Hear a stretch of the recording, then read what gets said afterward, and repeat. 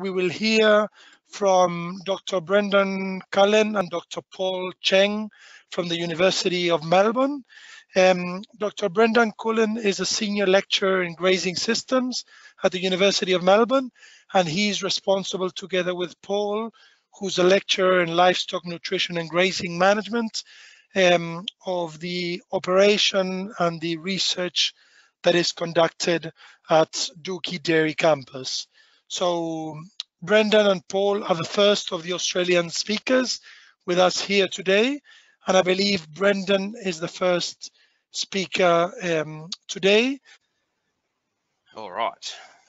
Morning, everyone. Can you see and hear me? See the presentation? We can see the presentation. We can hear you perfectly fine. Okay, beautiful.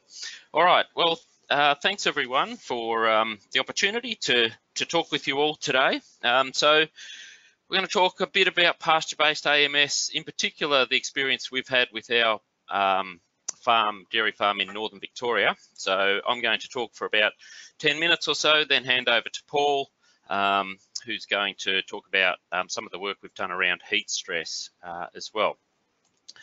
Um, so let me see if I can flick this on. So um, I guess, you know, at, at, the University of Melbourne, we're kind of newcomers to automatic milking systems and the group in at the University of Sydney with Kendra Kerrisk when she was still there, Nico, Yanni have done a lot of work in the development of automatic milking systems through the Future Dairy projects. Um, so I'm not going to go through much of that background, but just focus on our farm system and the kind of work we're doing there. But just as a, a bit of a snapshot, um, there's around 5,200, depending on what data set you look at, 5,200 dairy farms in Australia and somewhere around 50 um, farms with automatic milking systems.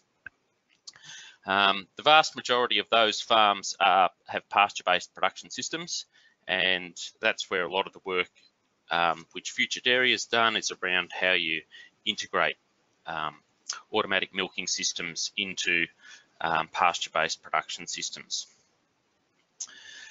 Um, our farm, um, the Dookie farm, is located um, in northern Victoria. So I've got a map there showing the major dairy regions. So most of the dairy production is concentrated in the southeastern corner of, of Australia, of um, Australia um, in our probably more higher rainfall um, and coastal production zones. Um, and within Victoria, the Dookie Dairy is located in, in this northern part of Victoria. Um, uh, so I guess the characteristic environment of northern Victoria, contrasting with the more southern Victorian regions, is that it's a, a much drier um, area and, and it relies on irrigated pasture. Um, so irrigated water from the river systems um, is an essential part of the historical farm systems, but I think this, this region, particularly in Northern Victoria, is one which is really um, under challenge um, due to the changing climate and changing dynamics of the dairy industry over the last uh, couple of decades. So um, in particular, some of those challenges are around the high costs um, of water and feed. Um, so irrigated systems um, relying a lot on irrigation water and with low rainfall that we've experienced across the region, um, so low inflow into dams and also um, increasing competition for, for water for, from other industries like horticulture and for environmental purposes has led to high cost of irrigation water um, also, high feed costs, so purchase feed costs like um, grain and other supplementary feeds. Um, heat stress is another major challenge um, in this area. So particularly through summer days, it's very common to have, um, you know, maximum temperatures in the mid 30s, mid 30, 35 degrees and above, and um, maximum temperatures into the low to mid uh, 40 degrees um, as well in, in Celsius. So heat stress is a major impact for probably about uh, four or five months of the year. What we also see in this region is a real transition going on. So we talk about the Australian dairy industry being a pasture-based industry, But in this region in particular, as a result of those challenges around water price and, and feed costs, there's a there's a transition going on and, and a lot of interest in moving towards more intensive systems. So grazing pastures becoming less uh, part of the diet um, and a move, a lot of people looking at and moving into more intensive systems. So having feed pads, feeding partial mixed rations for part of the years and also going to housed um, systems and total mixed ration systems. So there's a lot of change going on um, and kind of interested in how that change occurs and also how automatic milking systems might fit into that. And it's pretty unclear at, at the moment. So the Dookie Dairy, um, the, our farm in Northern Victoria, um, we've got about 120 hectares in total.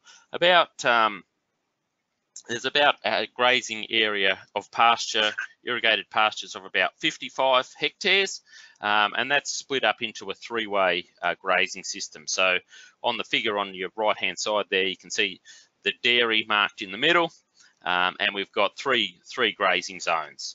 Um, so zone A on the on the right-hand side there, which also extends a bit further out and and as we've expanded over the last couple of years into some areas of pasture a bit further over to the right-hand side, uh, zone B and zone C. So we have that three-way grazing system set up um, and cows move voluntarily around that system.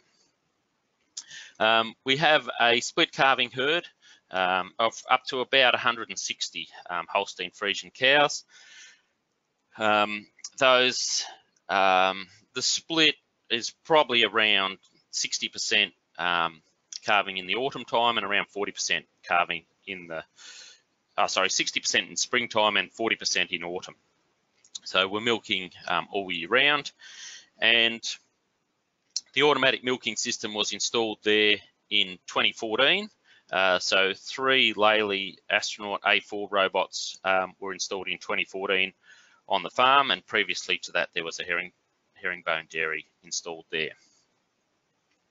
Um, so um, as a both a teaching and, and research organisation, um, the certainly the uh, the robotic system has generated a huge amount of interest through our through our teaching, both into undergraduate and postgraduate um, uh, courses, and it's been um, you know, a real great lead in to get people interested in the technologies, but then also talk about, you know, the fundamental uh, way that um, dairy farm systems are managed. Um, feed base on the farm. Uh, so we grow mostly annual pastures now. Um, so because of the high cost of water, we don't irrigate through the summertime, so we grow annual pastures and irrigate them on the shoulders of the seasons uh, mostly.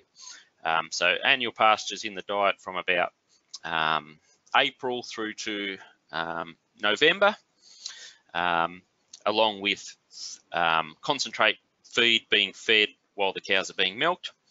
Um, and then over the summertime, without pasture in the diet, the the uh, the um, the diet for the herd is, is mainly um, hay and silage fed on the feed pad or a little bit in the paddock um, and, and concentrate in the diet. So it's probably around a third, a third, a third. So a third concentrate feed uh, up to probably around two tonnes a year, depending on the price of feed. Um, a, around two tonnes per cow grazed pasture, uh, maybe slightly more than that, and about two tonnes of, of hay and silage um, over the course of a year. Uh, so what I want to do now is talk about some of the research projects that we've uh, been doing, and in particular, we've been interested in um, milking order.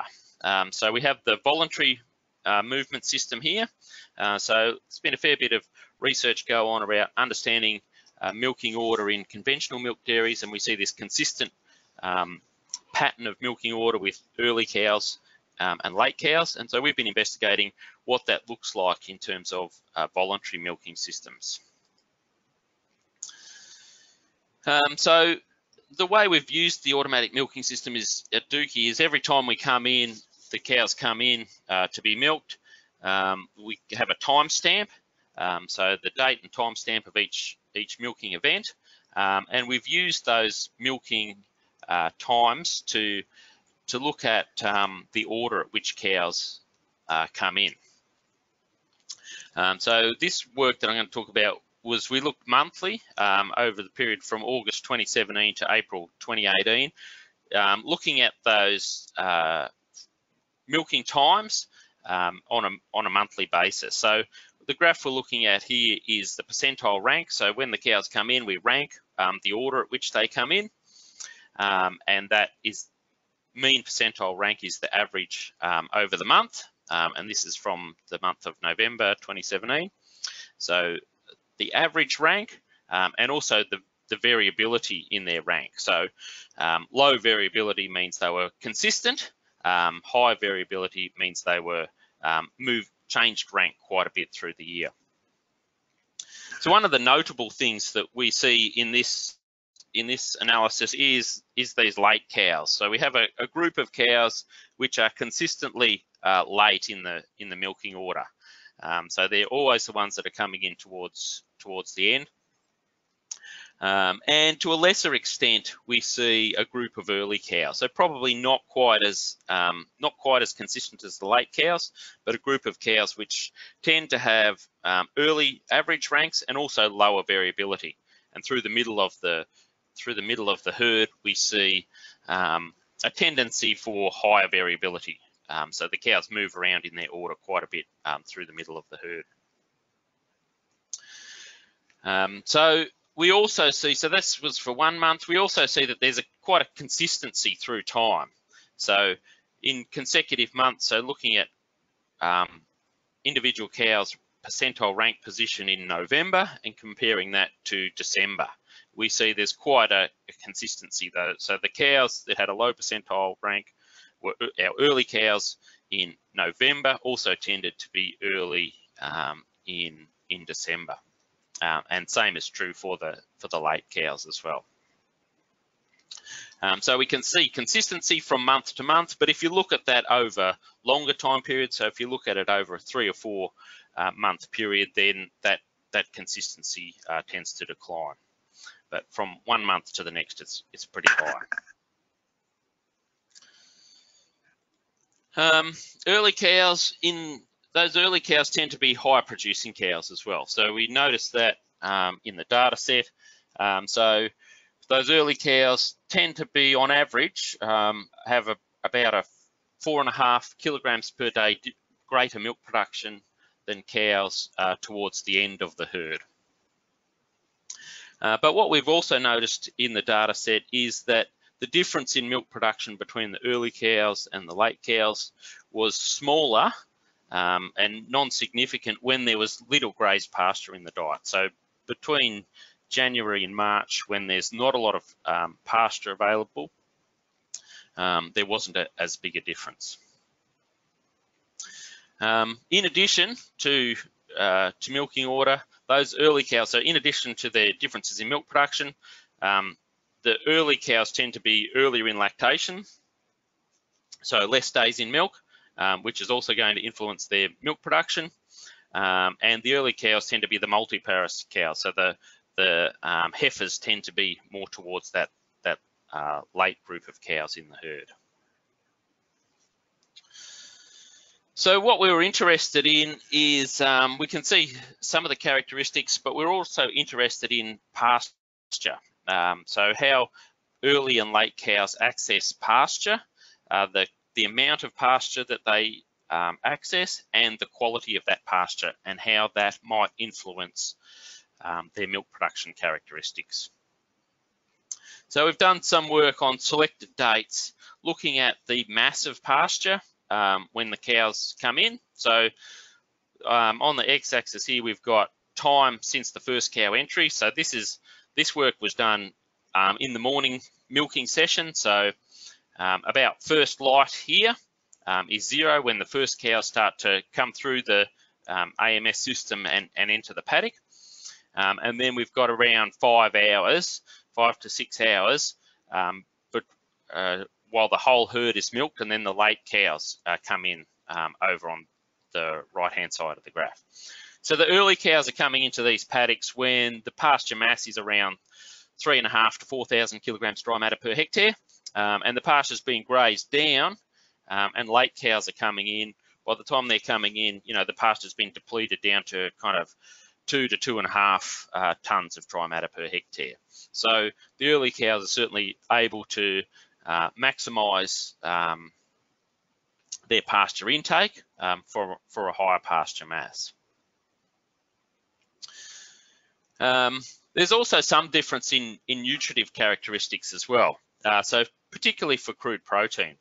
Uh, so uh, the early cows are able to select a diet of higher quality. So what we did here was we tried to select um, parts of the pasture that the cows were consuming um, early in the in in the period. So we get quite a strong gradient of crude protein decline through time as the cows are selecting, you know, the the leafy material, um, and that declines through time as the cows are selecting more stemmy material. Um, and we, but we didn't see quite as big a difference um, across the grazing cycle for difference in metabolizable energy content. So not as much, so uh, maybe perhaps a small decline in metabolizable energy content of the pastures that those early and late cows are selected. I think one of the reasons for that is we did this early in the morning, so the water soluble carbohydrate content of the plants is is increasing quite rapidly um, from from when the sun comes up uh, through this this period as well. Uh, but we can see a trend there. So those early cows are coming in. Uh, they got access to higher pasture mass and also a little bit more um, uh, higher nutritive characteristics of the pasture as well. And so we're at the moment trying to do some modelling to understand what that difference in pasture mass um, and quality means in terms of uh, milk production to try and understand what the potential benefits uh, would be in terms of um, organising grazing management so that we could give those later cows access, perhaps give those later cows access to fresh pasture if that's financially viable. Um, what we also, I guess one of the things um, we tried to look at is how could we predict a milking order and the cow characteristics, so um, production, live weight alone, those characteristics were poor predictors of milking order. So there's also some aspects of you know social hierarchy that we need to consider in the herd as well. Um, also, just leading on from AMS, another project I'm working in, there's a lot of interest in in grazing management and using new technologies like virtual herding. So those sorts of tools where we can actually even out access to pasture across the herd. So if we could use tools like that to preferentially graze those late cows or, or move them out of paddocks um, without having to go and fetch them, we see quite some significant benefits of integrating kind of newer technologies um, into AMS systems as well. All right, I'll leave it there, uh, Nico, and Perfect. Thank you, Brendan, for that one. Probably uh, what I suggest doing is we'll move to Paul and we can tackle questions at the end. Do you agree with that? Sure. All right, perfect. I'll make a start and uh, uh, I'll, I'll, quickly run through the the background information and hopefully we'll still get a few more minutes to, to have a question and answer session, right? Uh, so what we're looking at here is a study completed by a master student, uh, Yi Jing, who was interested in to look at the stages of lactation, interaction with heat stress, and try to understand what would be the impact on the cow performance in an automatic milking system. Uh, collaborators, uh, including Brendan and uh, Frank Dunshea and Dongwen Luo from Ag Research in New Zealand, who is a statistician, helped us to analyze the data.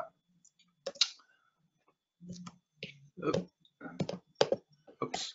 All right. So a bit of background, as I said very quickly, probably most of you would know this anyway. Uh, heat stress rarely defines as when a particular animal, a group of or group of animal actually heat load is greater than its capacity to lose heat. Uh, the impact of heat stress uh, is not just about reduce the feed intake, but uh, leading into a greater nutritional and energy requirement. And also there are some evidence basically uh, shows us there's a potential to reduce fertility.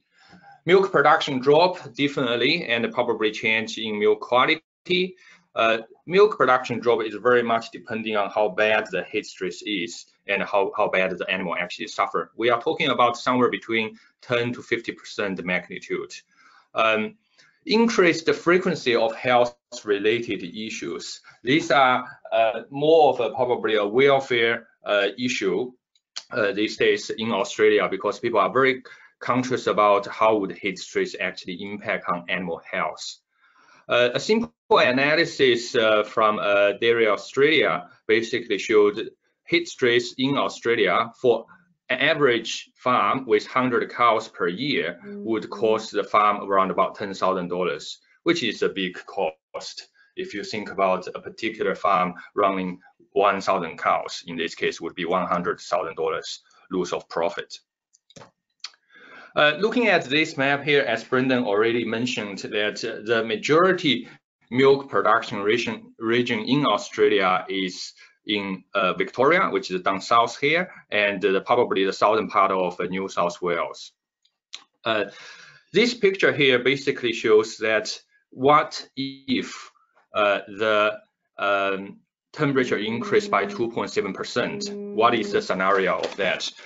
what this really shows us, for example, in the region of southern Australia, Victoria in this particular case, what we're looking at is uh, increasing the heat uh, stress 2.7%, or the sorry, the 2.7% uh, temperature increase will lead to about probably 20% more heat stress compared with the first scenario, which is you know 2.7% uh, temperature less. What we're showing here, the percentage is actually a percentage of day with heat stress that the cattle would suffer. So very substantial increase of heat stress um, uh, to the animal if the temperature increase by around about 2.7 degrees C. In north, uh, in southern part of Australia, uh, traditionally it's a seasonal calving system, which basically we are allowed to, calve in spring period.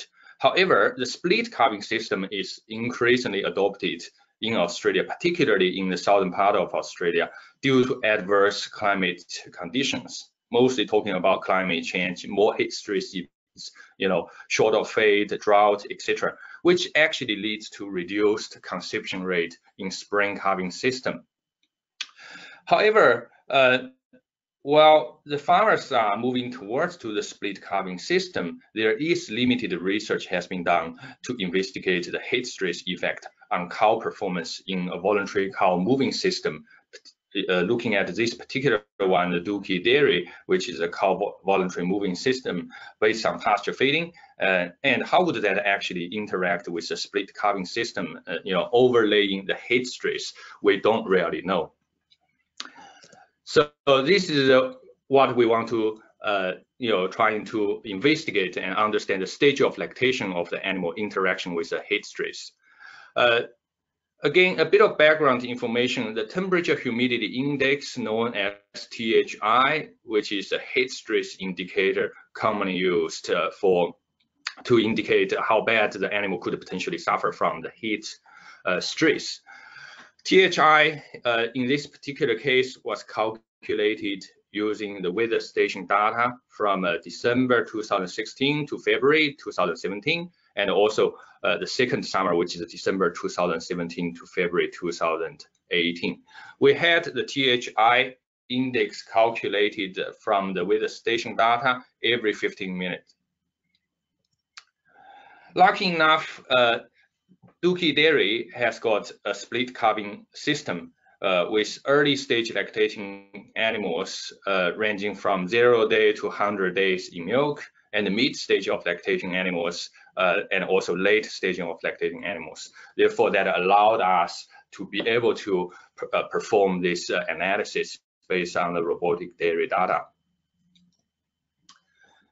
So very quickly, the weather data that we had uh, uh, sourced from the weather station allowed us to calculate a daily average THI. And then we passed the data to the statistician and he did a scatter plot and the broken line and uh, break points analysis basically allowed us to understand what is the interaction between the stage of lactation and the heat stress for that particular summer event.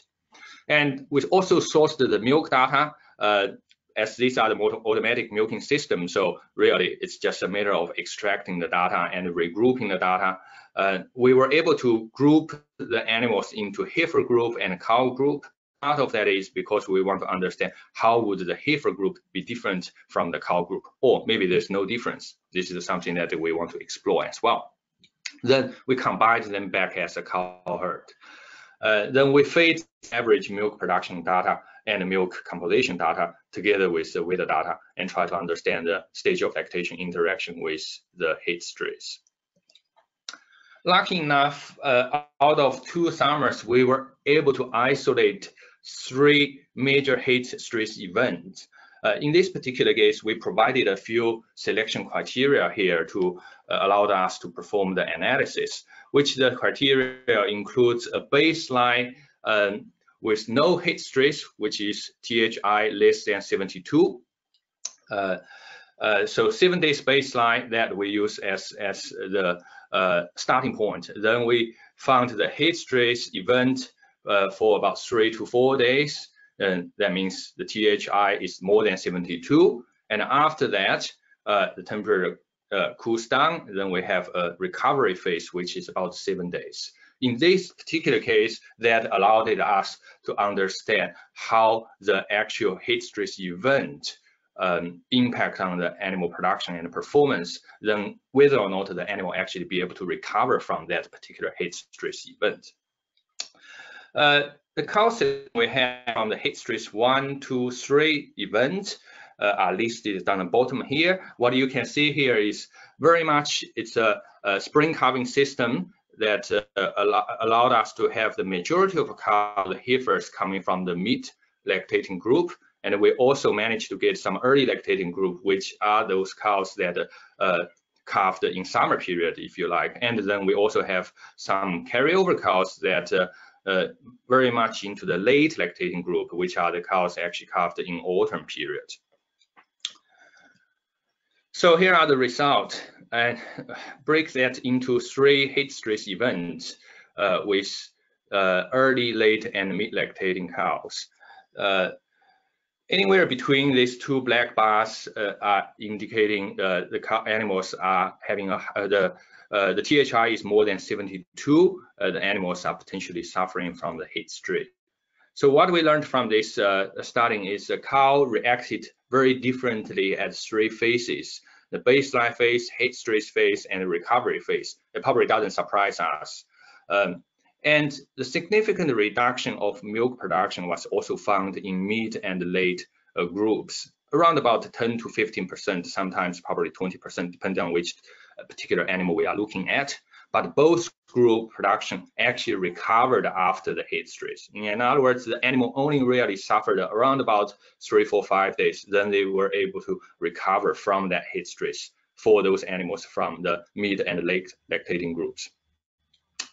Uh, focusing on the heat stress event one, the first one, and you can see that the increasing rate for the early group in baseline was about 0.09 kilogram per day, and it was 0.03 kilogram per day in the recovery phase. So what does that really mean is the early stage lactating animal in heat stress event one, they did not lose milk, but they did lose their milk production potential even after the heat stress. In terms of the milk fat content and, and, um, and also the milk protein content, uh, milk composition wise, uh, the uh, result was not very consistent.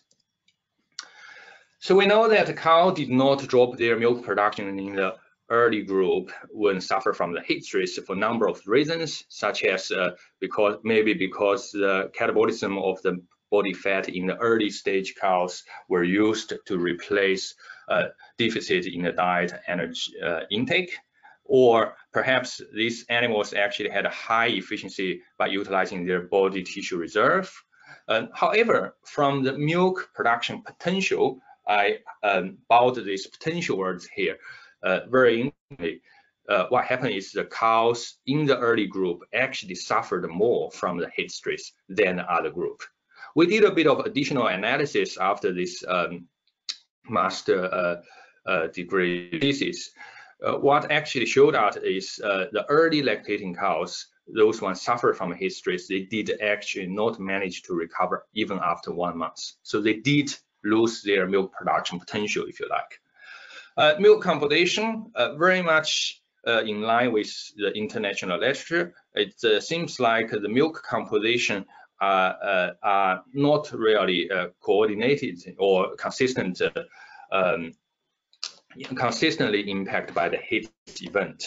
Uh, so I guess it's probably depending on how much milk the actual animal pr produce and also what they eat and also how they actually utilize what they eat. Uh, further analysis, we, we wanted to understand the cow versus heifer uh, stress uh, uh, uh, impact on them. So what we found is with a combined group, we found the THI is actually 74, where for the heifer group, it's 78, which both of these values are uh, more than 72 that we previously used uh, from the international literature. Part of this reason probably is because the lower critical THI threshold for the milk production is 74 for the for the cow group compared with the heifer group, which is 78, because the heifers show less sensitivity to heat stress, which is probably mainly due to they produce less of the milk and try to utilize the body, uh, body uh, tissue reserve a bit better. So thank you. So thank you very much, Brendan and Paul, for your insightful presentation, both of you. Um, I've got one quick question for both of you, but you've got to be really quick with the answer. So the first question for Brendan is, do you think the, the result of di the difference in result between cows and heifers means that we should be allowing cows and heifers different access to pasture? So for example, allowing heifers earlier than cows and in the meantime, I'll let Paul think about his answer. His, question is, do you think AMS means we need to revisit THI indexes for dairy cows? So I'll go first with Brendan, if you're online. Yeah, thanks, Nico. Um, look, I, I, I, do think there's a case for that um, in utilising, you know, the the information that we get from an AMS system around that milking order um, to adjust um, access to pasture for, for different subgroups within the herd. So we've been doing a little bit of analysis around this in our virtual herding program, um, which is technology where you could potentially manage subgroups of herd of animals different and a, a, small increase in production associated with better access to pasture um, can be quite profitable, I think. Um, I'll stop there, otherwise I'll go on too long. Excellent. Thank you, Brendan, for that one, but we can share your details and somebody might get in touch with you afterwards. Sure. So I'll now move on to Paul regarding the question of revisiting uh, THI index values. Yeah, I think, Nicole, there there is a uh, there is a, probably a need to to relook at this for two reasons. The first one is because of a moving system, which the cows actually can choose where they go. For example, they can go to the shade, uh, or they can be exposed uh, uh, while they uh, exposed to heat uh, while they on the pasture. So I think there's a bit of uh, potential that the cows can actually try to reduce the heat stress by uh, manipulating their movement. The second one is uh, THI is an index that uh, built based on the temperature and humidity. It doesn't necessarily, particularly when it gets generated from the indoor study, doesn't necessarily take into consideration of wind speed and solar radiation. Where our cows grazing outside, they are also suffering from this, or they could potentially benefit from the you know high wind speed uh, to reduce their heat, heat load. Therefore, I think uh, there is probably uh, a, a, reason why we should start uh, to look into this direction. Excellent. Thank you, Paul and Brendan, for your time um, and your insights. Uh, I appreciate very much you sharing that knowledge. Uh, sorry, I ran two, three minutes late, but I think there was really good information there. So thank you both of you for your time. Thank you, Nicole.